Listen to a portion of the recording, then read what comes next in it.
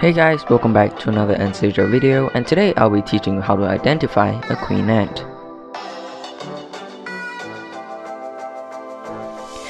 Many beginner ant keepers catch ants that they think are queens, but are actually not queens. So in this video, I'll be showing you how to identify a queen ant. First of all, a queen is always the largest type of ant in an entire colony species. If the species is polymorphic or they have different sizes of ants, there are major ants as well as regular minor ants. To differentiate between a queen and a major, a queen's head is almost always smaller than its thorax or middle segment. A major's head is always larger than its thorax. Secondly, a queen's abdomen is the largest part of a queen's body. It is usually large and round and also oval shaped. Queen ants' thoraxes is it is it called thoraxes? Thorax thoraxes I, I don't know.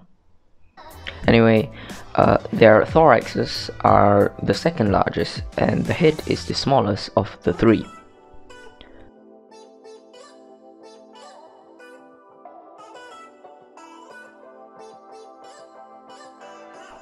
Thirdly, queens have wings, but male alates also have wings.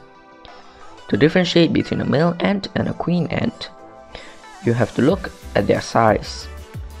The size of a male ant is usually smaller than the size of a queen of its same species, so it definitely helps if you know what species they belong to. A male ant's abdomen and head is also smaller in terms of proportion so it looks slightly more like a wasp than it does look like an ant.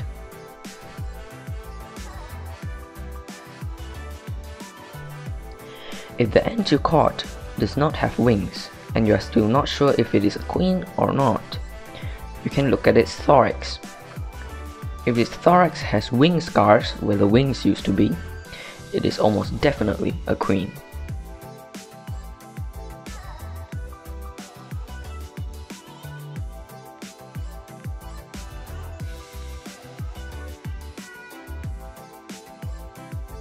That is all the tips I have for you today.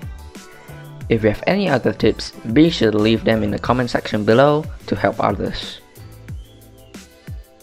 Also, if you are still not sure if it's a queen or not, or you want to identify what species your queen is, you can join my Discord server to ask the community there. Or you can visit AntsAsia's Facebook page to message them and ask them questions. So thank you so much for watching this video. If you liked it, be sure to subscribe and like the video to be notified when I upload future videos. And after all that, I'll see you next time.